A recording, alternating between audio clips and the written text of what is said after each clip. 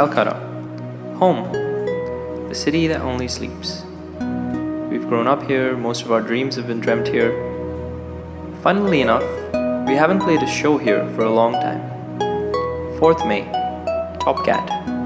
We've taken a lot from this city, and we want to give something back.